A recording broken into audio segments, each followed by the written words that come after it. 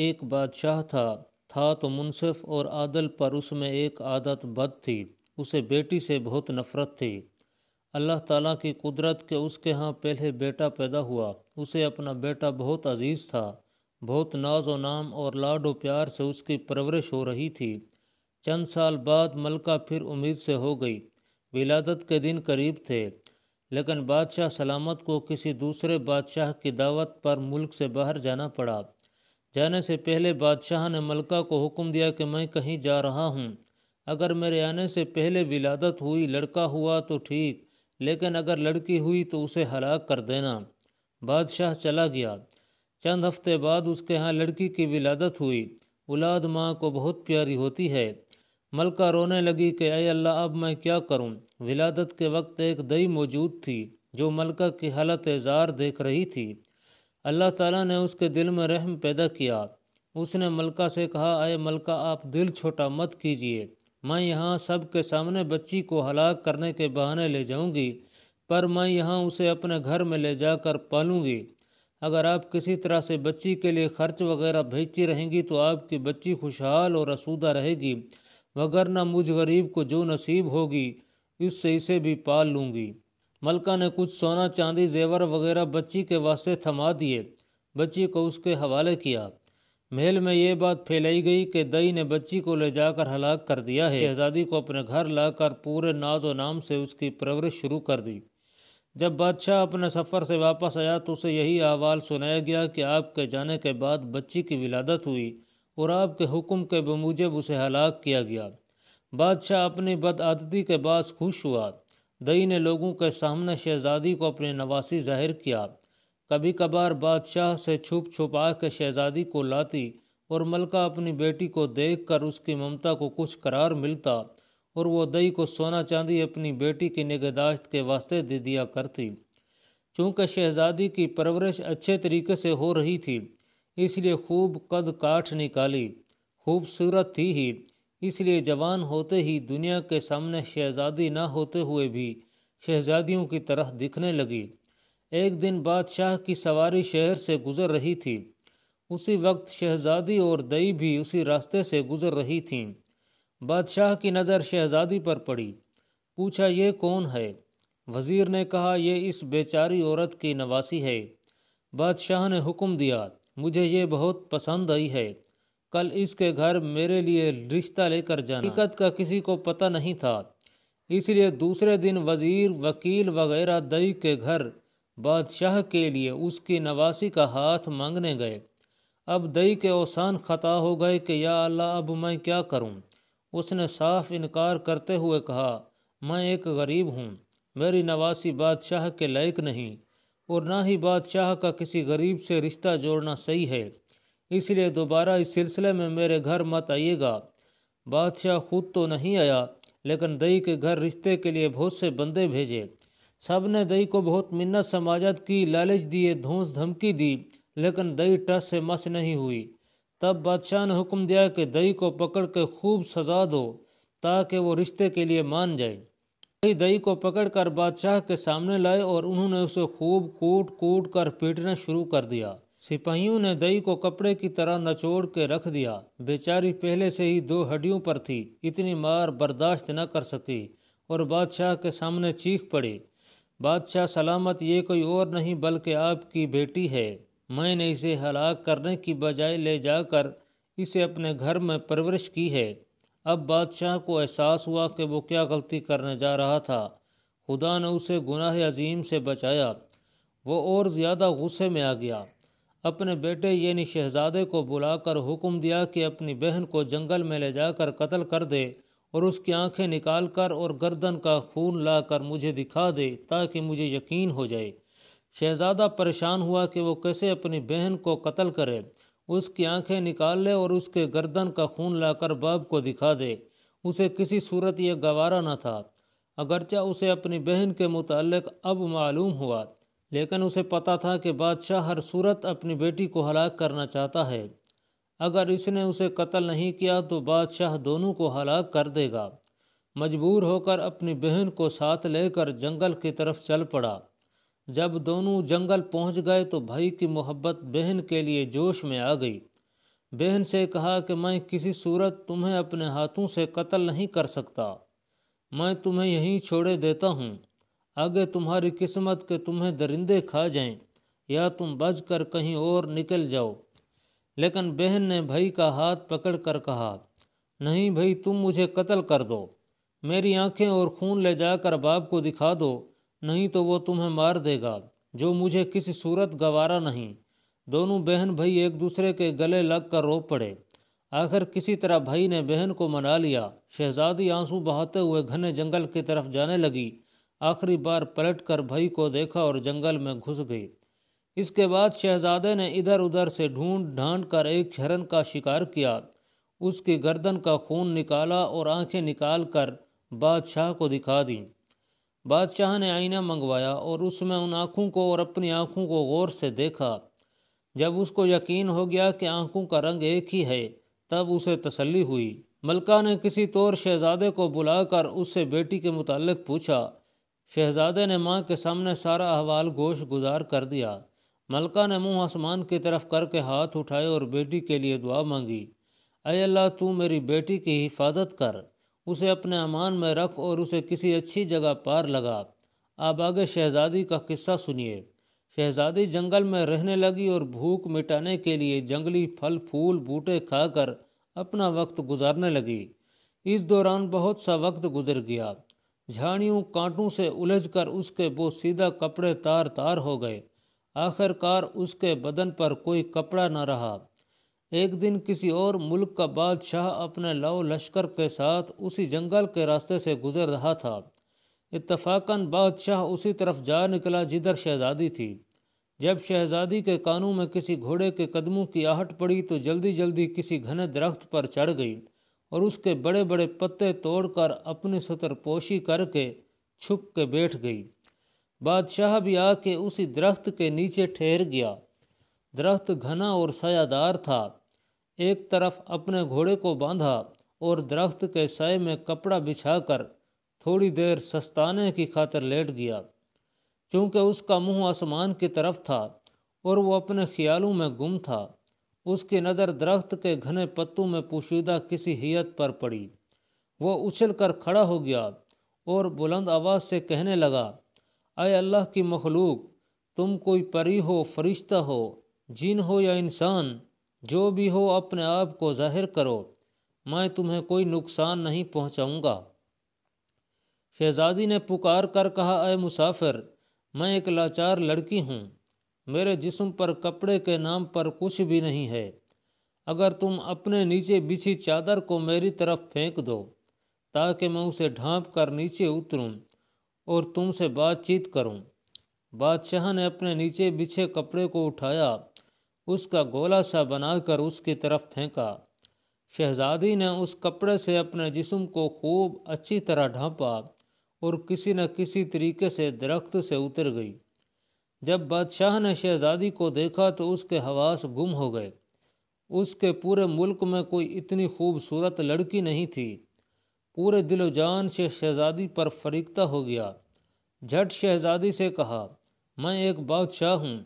अगर तुम बुरा न मानो तो मैं तुमसे शादी करके तुम्हें अपनी मलका बनाना चाहता हूँ।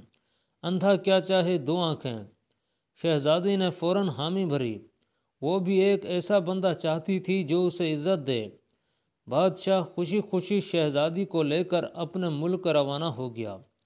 अपने मुल्क पहुँचते ही बादशाह पहले वज़ीर के घर जा पहुँचा और उससे कहा, ऐसा समझो कि ये तुम्हारी बेटी है, मैं कल रिश्ता मांगने आऊँगा और शादी ब्याह रचा कर अपनी अमारत यहाँ से अपने महल ले जाऊँगा। वज़ीर ने आदाब बजा कर कहा, बादशाह सलामत, आप पूरी तसली रखिए, ये आपकी अमानत है। और मेरी बेटी, जब आपका दिल चाहे इसे ब्याह कर ले जाइए। बादशाह शहजादी को वज़ीर के घर छोड़ आया। अगले दिन वकील काजी बादशाह का रिश्ता लेकर वज़ीर के घर आ पहुँचे। वज़ीर ने रिश्ता के लिए हाँ कर दी। एक दो दिन बाद मंगनी हो गई। बादशाह शहजादी के इश्क में सब कुछ भूल चुका था। जल्द ही शादी का न्योता भेजा और शहजादी को ब्याह कर अपने महल लाया। बादशाह और शहजादी अपनी शादी से बहुत खुश थे। इस दौरान बादशाह ने शहजादी से उसके मुतालिक कुछ नहीं पूछा था। चंद साल बाद उसके यहाँ बेटे की विलादत हुई। बादशाह बहुत खुश था। उसने शहजादी से जो अब मलका बन गई थी पूछा, अब जबकि अल्लाह ताला ने हम दोनों को औलाद नरीना से नवाजा, तुम अब एक बेटे की माँ बन गई हो। अब मुझे बताओ कि तुम कौन हो? किसकी बेटी हो? और किस जगह से तुम्हारा ताल्लुक़ है? शहजादी ने किसी तरीके से बादशाह को टाल दिया। माओ साल गुजरते चले गए। बादशाह के यहाँ दूसरे बेटे की विलादत हुई। बादशाह ने दोबारा शहजादी से वही सवाल दोहराया। शहजादी ने फिर बादशाह को टाल दिया। आखिरकार उनके यहाँ जब तीसरे बेटे की विलादत हुई तो इस मौका पर बादशाह ने शहजादी की हकीकत मालूम करने के लिए बहुत दबाव डाला। आखिरकार शहजादी मान गई। और बादशाह को हकीकत बताई कि वो फ़िलहाल मुल्क के बादशाह की बेटी है। बादशाह को किस तरह बेटियों से नफरत थी, उसने किस तरह मुझे मारने का हुक्म दिया और दई ने मुझे किस तरह बचाकर अपने घर में मेरी परवरिश की। बादशाह ने किस तरह मुझे देखा, फिर किस तरह अपने भाई के हवाले करके कत्ल करने का हुक्म दिया। मैं इस तरह जंगल में खुआर ज़िंदगी गुजारने लगी। वहाँ तुमने मुझे देखा, मुझे अपने साथ ले आई और मुझसे शादी की।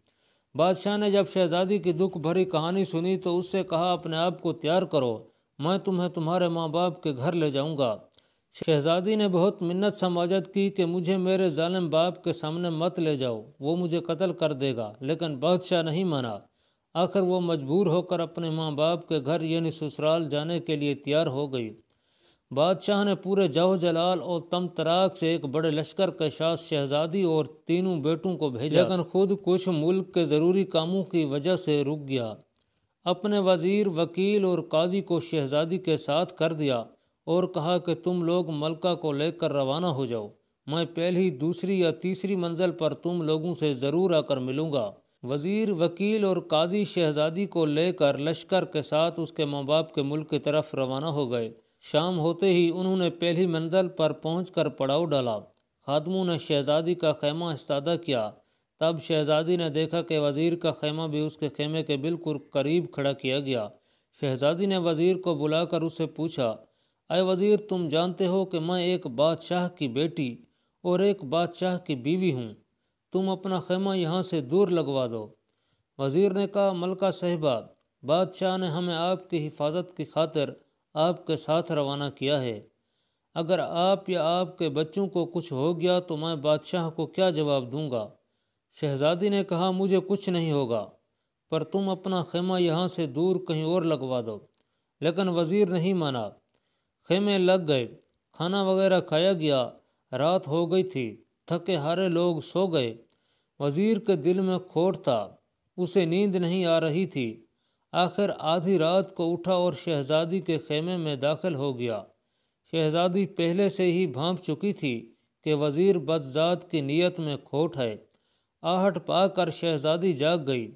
देखा कि वज़ीर है तो उसे ललकार कर बाहर निकलने को कहा, लेकिन वज़ीर आगे बढ़ने लगा। शहजादी ने कहा अय बदजात वज़ीर, तुम जानते हो कि मैं एक बादशाह की बेटी हूँ और एक बादशाह की बीवी। ना मैंने बुराई की है और ना किसी का बुरा चाहा है। मुझे मखलूक के सामने बदनाम मत कर और मेरे खेमे से निकल जा। लेकिन बेगैरत वज़ीर नहीं टला। जब शहजादी ने देखा कि वज़ीर किसी सूरत नहीं मान रहा तो उसने अपने बड़े बेटे के वज़ीर के सामने किया, तुम इस बच्चे के सर की कसम इस तरह मत करो। उसे अल्लाह रसूल के वास्ते दिए कुरान की दिहाई दी, लेकिन बद किरदार वज़ीर के दिमाग में शैतान पूरी तरह से घर कर चुका था। वो आगे बढ़ा और तलवार निकाल कर एक ही वार से बच्चे का सर धड़ से अलग कर दिया। शहजादी समझ गई कि बदजात वज़ीर बिल्कुल भी नहीं टलेगा।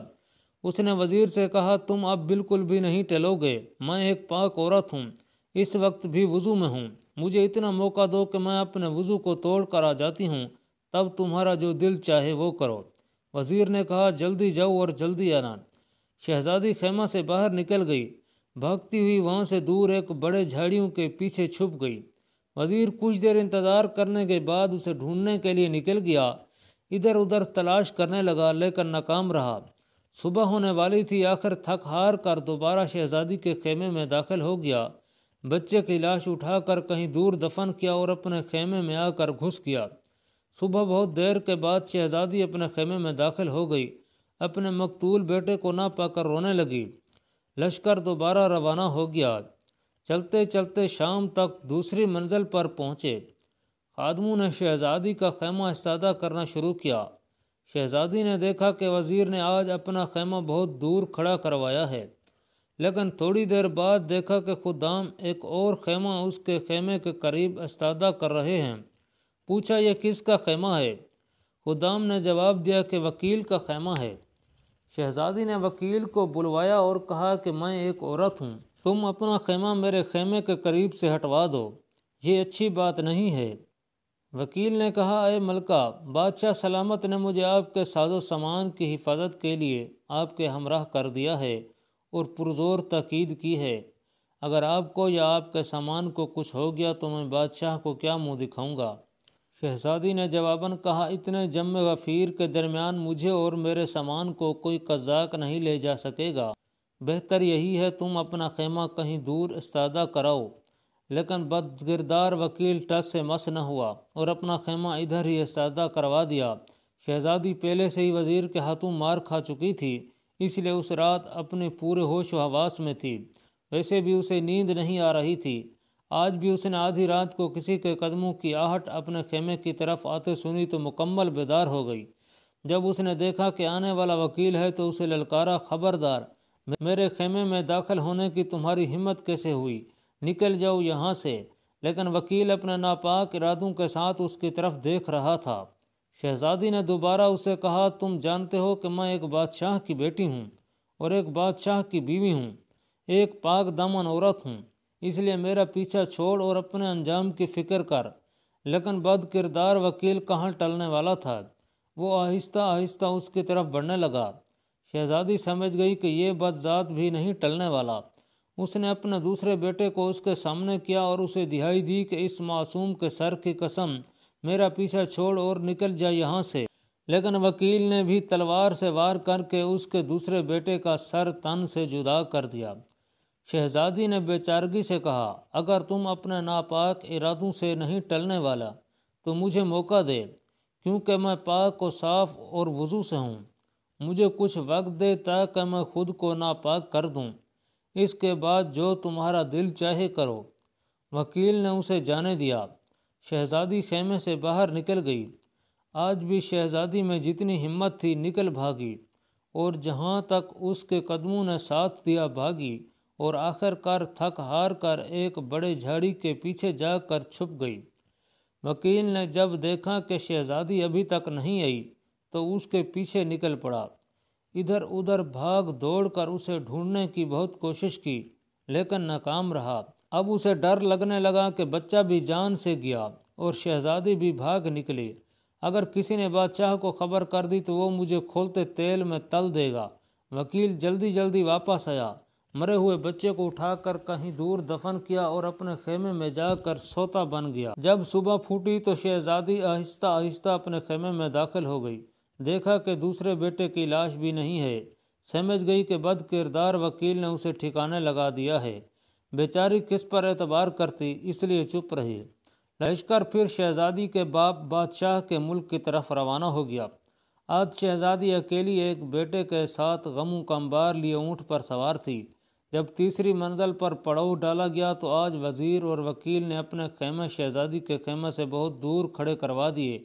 वो शर्मिंदा शर्मिंदा शहजादी के सामने आ ही नहीं रहे थे। हैरान और परेशान थे कि जब बादशाह को पता चलेगा तो उसे क्या जवाब देंगे। आज जैसे ही शहजादी का खेमा खड़ा किया गया तो देखा कि काजी साहब अपना खेमा उसके खेमे के सामने सादा करवा रहा है। शहजादी ने उसे भी बहुत समझाने की कोशिश की, लेकिन काजी बदजात भी टलने वालों में से नहीं था। आज की रात भी शहजादी के लिए क्यामत की रात थी। वो समझ चुकी थी कि कादी बजात भी इन दोनों से किसी तौर पर कम नहीं। आज रात तो शहजादी बिल्कुल भी नहीं सोई, बैठी रही। जब रात आधी से ज़्यादा गुजर गई तो देखा कि काजी भी खरामा खरामा खेमे में दाखिल हो रहा है। शहजादी ने उसे भी बेहतरा समझाने की कोशिश की। बहुत मिन्नत समाजत की। खुदा रसूल के वास्ते दिए। यहाँ तक कि कह दिया कि अगर वकील, वज़ीर जाहिल थे, लेकिन तुम तो आलम व फाजिल इंसान हो। लोगों को इंसाफ फराम करते हो। तुम ऐसी हरकत जेब भी नहीं देती। लेकिन काजी भी पूरी तरह शैतान बन चुका था। उस पर मिन्नत समाजतों का कोई असर नहीं हुआ। शहजादी ने देखा कि यह भी टलने वाला नहीं। तो इस ख्याल से कि शायद इसके दिल में रहम पैदा हो जाए, अपने तीसरे सबसे छोटे बेटे को उसके सामने कर दिया, उसकी दिहाई दी, वास्ते दिए। लेकिन काजी तो इन दोनों से भी दो हाथ आगे था। काजी बद वक्त को भी रहम न आया और मासूम बच्चे का सर कलम कर दिया। शहजादी ने उसे भी यही कहा कि मैं पाक साफ़ हूँ, वज़ू से हूँ, मुझे मौका दो ताकि अपना वज़ू तोड़ दूँ। इसके बाद जो चीज़ चाहे करो। काजी ने उसे जाने दिया। जैसे ही शहजादी बाहर निकली, जिधर मुँह उठा, भाग निकली। भागते भागते अचानक उसने देखा कि आगे एक बहुत बड़ा दरिया बह रहा था। उसके दिल में धुआँ भर गया। अपने मासूम बच्चे याद आए। उसका दिल खून के आँसू रो रहा था और वो सोच रही थी कि अगर बादशाह ने पूछा कि बच्चे किधर हैं तो उसे क्या जवाब दूँगी? इससे बेहतर है कि खुद को इस दरिया के हवाले कर दूँ। ये फैसला करके उसने दरिया में छलांग लगा दी। पुरजोर दरिया उसे चक्कर देकर कहीं का कहीं पहुँचा के दूसरी तरफ़ निकाल कर ले गया। दूसरी तरफ़ छह फकीर जो कि भाई थे अपने कपड़े दरिया पर धोने के लिए लाए थे। जब देखा कि दरिया में कोई औरत बहती हुई आ रही है तो पकड़ कर बाहर निकाल लाए। अब शहजादी के पैरों से ज़मीन निकल गई। उसके होश व हवास जवाब दे गए कि कहाँ वो तीनों बद ज़ात व बद किरदार के उनसे अपनी इज़्ज़त बचाकर भाग निकली तो इन छः नंग धड़ंग फ़कीरों के हत्थे चढ़ गई। फ़कीरों में से हर एक यही कह रहा था कि ये मेरी है। आखिर सलाह यही ठहरी कि इसे बाप के पास ले जाएँगे। वो जिसका कहे ये औरत उसी की है। वो शहजादी को अपने बाप के पास ले गए। उनका बाप एक जेरक और अक्लमंद इंसान था। देखते ही समझ गया कि यह किसी शहनशाह घराने की औरत है। मेरा कोई भी बेटा इसके लायक नहीं। इसी वजह से उसने अपने बेटों को समझाया कि अय मेरे बेटे, तुम छः भाई हो। तुम्हारी कोई बहन नहीं है। इसे अपनी बहन बना लो। तुम छः भाई और सातवीं तुम्हारी ये बहन, इसकी खूब निगहदाश्त करो। इसकी बरकत से तुम सब सुरखरू हो गए। बाप के फैसले से फ़कीर बहुत खुश हो गए और अपने से बढ़कर शहजादी का ख्याल रखने लगे। जब बादशाह चौथे दिन आकर लश्कर से मिला तो देखा वज़ीर, वकील और काजी उससे कतरा रहे थे। उसके सामने शर्मिसार थे। पूछा, मेरे बीवी बच्चे कहाँ हैं? तीनों ने यक जबान होकर कहा, मलका तो एक डायन थी। तीनों बच्चों को खाकर खुद भाग निकली। बादशाह हैरान और परेशान हो गया कि ये क्या बात हो गई। वो इन तीनों पर शक में पड़ गया, लेकिन कहा कि बाद में देखते हैं। अभी जिस तरफ़ जा रहे हैं, वहाँ जा के फैसला करेंगे कि आगे क्या करना है। बादशाह अपने दिल में यही सोच रहा था कि जाके अपने जालिम ससुर बादशाह को देखूँ। और उससे पूछूँ कि उसे क्यों बेटियों से इतनी नफरत है? उसके जुल्म व सितम की वजह से उसकी बेटी डैन बन गई और अपने बच्चों तक को खा गई। चलते चलते उन्होंने एक बड़े दरिया के पुल को पार किया और अपनी मंजिल की तरफ़ रवाना हो गए। उधर शहजादी फ़कीरों की बहन बनकर रहने लगी। उसे इधर उधर से सुनगुन मिल गई और समझ गई कि अपने बाप बादशाह के मुल्क में पहुँच गई है। उसे पता था कि उसके बाप को किस्सा सुनने का बहुत शौक़ है। उसने अपने भाई फ़कीरों से कहा कि जाके बादशाह को बता दो कि हमारी बहन एक किस्सा गो है। क्या वो उसे शाही किस्सा गो के तौर पर मुलाजमत देगा या नहीं? फ़कीरों ने बादशाह के दरबार तक रसई हासिल करके उसको ये गोश गुजार दिया कि हमारी बहन एक किस्सा गो है। अगर उसे पसंद हो तो उसे किस्सा सुनवाने के लिए लेकर आए बादशाह ने उन्हें इजाज़त दे दी और कहा कि अगर उसके किस्से पसंद आए तो वो उसे शाही किस्सा गो रख देंगे।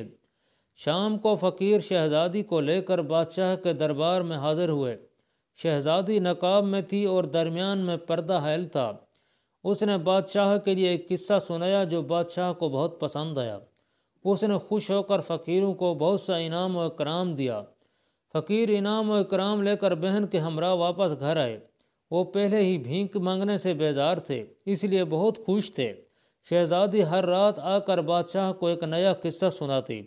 बादशाह से दाद और इनाम व इकराम पाकर वापस अपने भाइयों के साथ घर लौट जाती। फकीरों की जान भी भीख मांगने से छूट गई। एक रात जब वो आई तो देखा कि आज तो उसका शोहर बादशाह, वज़ीर, वकील, काजी वगैरह भी उसके बाप बादशाह के साथ बैठे हुए हैं। शहजादी ने सोचा, आज तो किस्सा मज़ा करेगा। शहजादी आज भी हर रोज़ की तरह नकाब में थी। पर्दे के दूसरी तरफ़ आकर अपने जगह पर बैठ गई।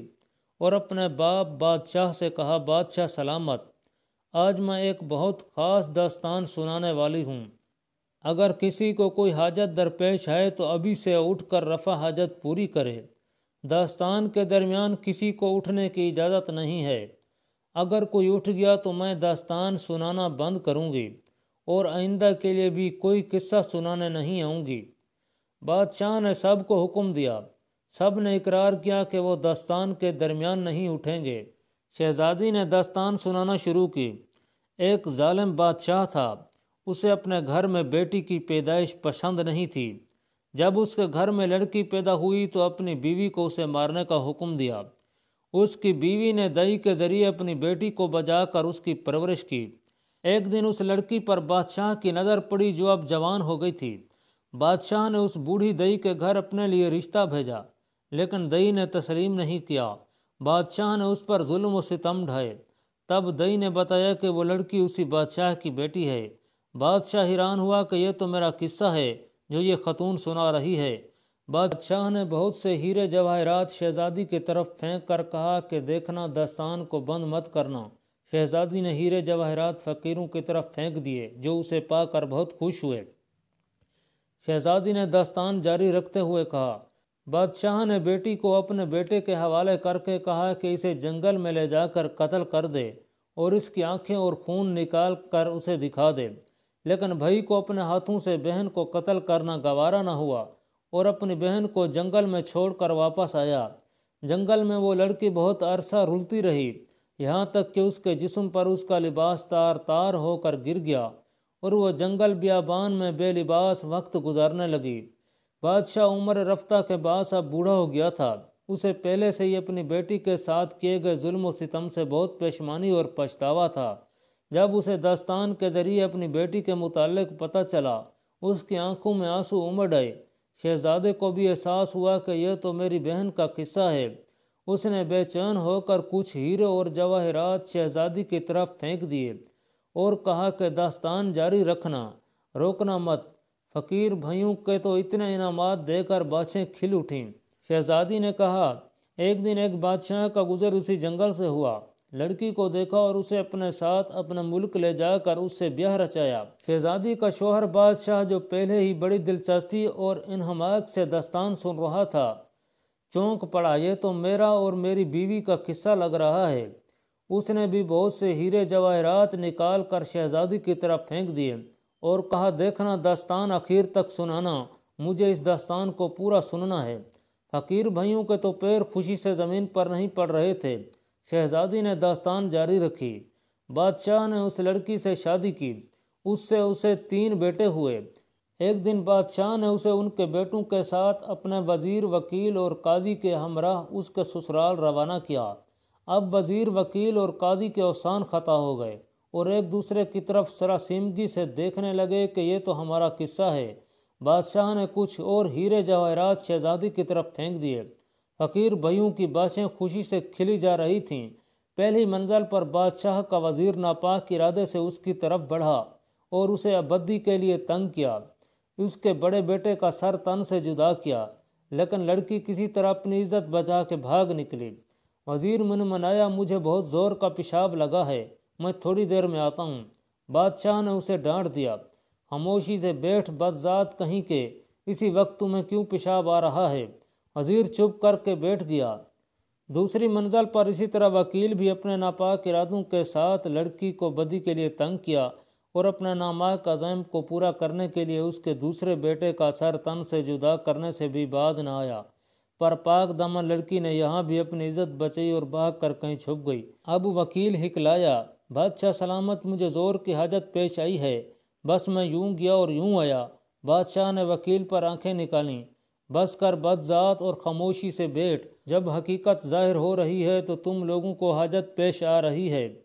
वकील भी खामोशी से बैठ गया। तीसरी मंजिल पर काजी भी अल्लाह और उसके रसूल को भूल कर बदी के लिए लड़की को तंग करने लगा और उस जालम ने उसके तीसरे बेटे का सर कलम किया। लड़की ने फिर अपनी इज़्ज़त बचाई और भाग कर एक बड़े दरिया में कूद गई। काजी ने भी कोई बहाना बनाने की कोशिश की, लेकिन बादशाह ने उसे भी डांट कर चुप करा दिया।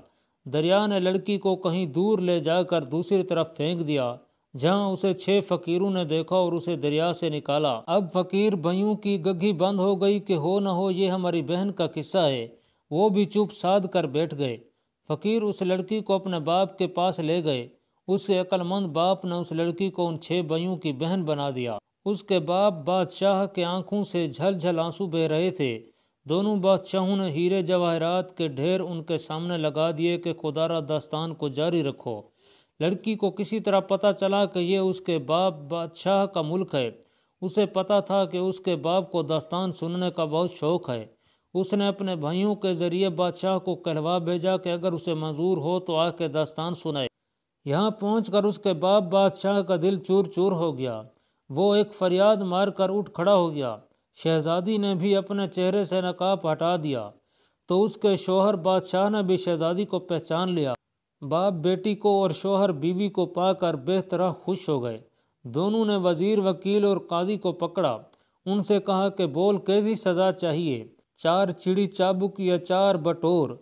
ये बरोही ज़बान में दो सख्त सज़ाओं के नाम हैं। उन्होंने कहा कि चार बटोर, बादशाह ने बारह घोड़े मंगवाए, हर एक के हाथ, पैर, चार घोड़ों से चार इतराफ में बांधकर उन्हें चार मुखालफ सिमत में दौड़ा दिया, जिनसे उनके जिस्म टुकड़ों में बट गए। इसी तरह उन बदजातों को उनके किए की सज़ा मिल गई और शहजादी का बाप अपनी बेटी और उसका शोहर अपनी बीवी को पाकर बहुत खुश थे और हँसी खुशी रहने लगे।